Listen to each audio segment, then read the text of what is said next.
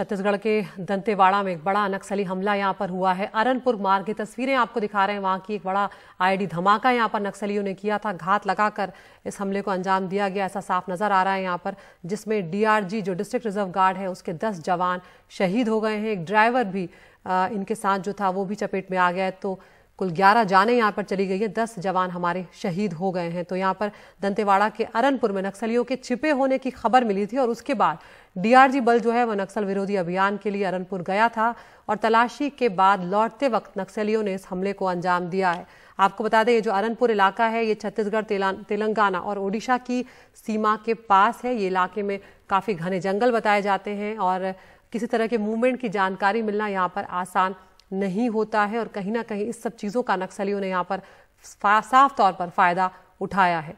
तो नक्सलियों के खिलाफ एक बड़ा अभियान छत्तीसगढ़ और झारखंड जैसे राज्यों में चलाया गया। नक्सल प्रभावित इलाकों में सफलता भी हासिल हुई, लेकिन कहीं ना कहीं नक्सली जो है अपने वर्चस्व की लड़ाई लड़ रहे हैं, अपने अस्तित्व की लड़ाई लड़ रहे हैं और उसमें वो उस खुराक में रहते हैं कि एक छोटा सा उन्हें मौका मिले और इस तरह के हमलों को वो अंजाम देते हुए नज़र आते हैं। और यहाँ पर ये भी हमारे साथ छत्तीसगढ़ के नेता प्रतिपक्ष नारायण चंदेल इस वक्त फ़ोन लाइन पर जुड़ गए। चंदेल साहब शुक्रिया आप हमारे साथ जुड़े। आपको इस वक्त इस घटना को लेकर क्या कोई जानकारी मिल रही है? आपकी पहली प्रतिक्रिया मैं जानना चाहूँगी। जी, मुझे भी अभी अभी जानकारी मिली कि दंतेवाड़ा जिला के अरनपुर थाना क्षेत्र में एक बहुत ही दुर्भाग्यपूर्ण घटना हुई है, जिसमें हमारे 11 जवान की शहादत हुई है।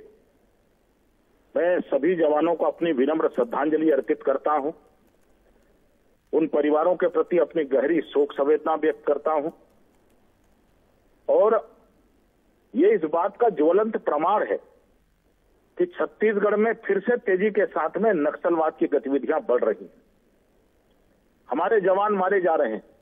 उनकी शहादत हो रही है। उस क्षेत्र के निरीह और गरीब लोग, बेकसूर लोग नक्सलवादियों की भेंट चढ़ रहे हैं। छत्तीसगढ़ की सरकार को, राज्य सरकार को, भूपेश सरकार को नक्सलवाद के खिलाफ, माओवाद के खिलाफ कोई निर्णायक लड़ाई लड़ने की आवश्यकता है। और पूरा बस्तर भयक्रांत है। लोगों में भय और डर का माहौल है।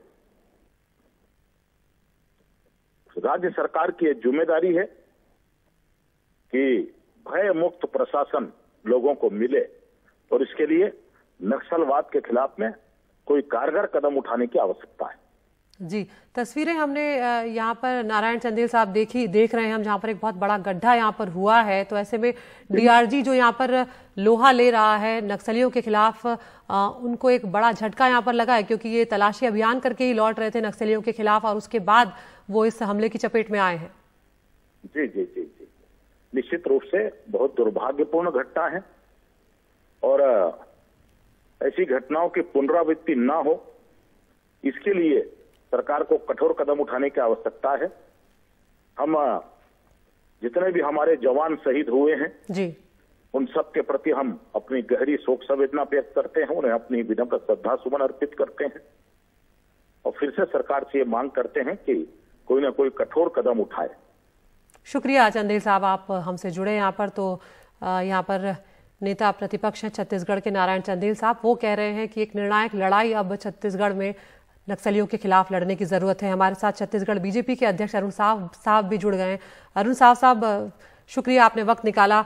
आपकी पहली प्रतिक्रिया मैं यहाँ पर जानना चाहूँगी, क्योंकि दस जवानों की हमारी शहादत हुई है यहाँ पर। जी, हमने आज छत्तीसगढ़ महतारी के 11 बेटों को खोया है। और घटना का दृश्य देखकर मन भर आ रहा है। इस घटना की जितनी निंदा की जाए, जितनी भर्सना की जाए, उतनी कम है। मैं इन वीर शहीदों के प्रति अपनी विनम्र श्रद्धांजलि अर्पित करता हूँ, श्रद्धा सुमन अर्पित करता हूँ, इनके परिजनों के प्रति अपनी गहरी संवेदना व्यक्त करता हूँ। निश्चित रूप से राज्य सरकार लगातार जो दावे कर रही थी, आज लगातार राज्य सरकार के दावों की पोल खुली है और इतनी बड़ी घटना आज हुई है। अभी थोड़े दिन पहले बीजापुर के विधायक के काफिले पर हमला हुआ था। उसके कुछ दिन पहले हमने अपने प्रमुख पदाधिकारियों को खोया था। तो ये लगातार घटनाएँ हो रही है। और उसके बाद भी राज्य सरकार का ये दावा कि हमने नक्सलवाद को नियंत्रित किया है, उनके दावों को पोल खोलती है। आज जब हमने छत्तीसगढ़ के, छत्तीसगढ़ महकारी के 11 बेटों को खोया है तो आज, ये संकल्प करने का अवसर है कि छत्तीसगढ़ में हम शांति बहाल कैसे करेंगे। और बस्तर के लोग आज परेशान हैं। अनेक निर्दोष लोगों को अपनी जान खोनी पड़ रही है।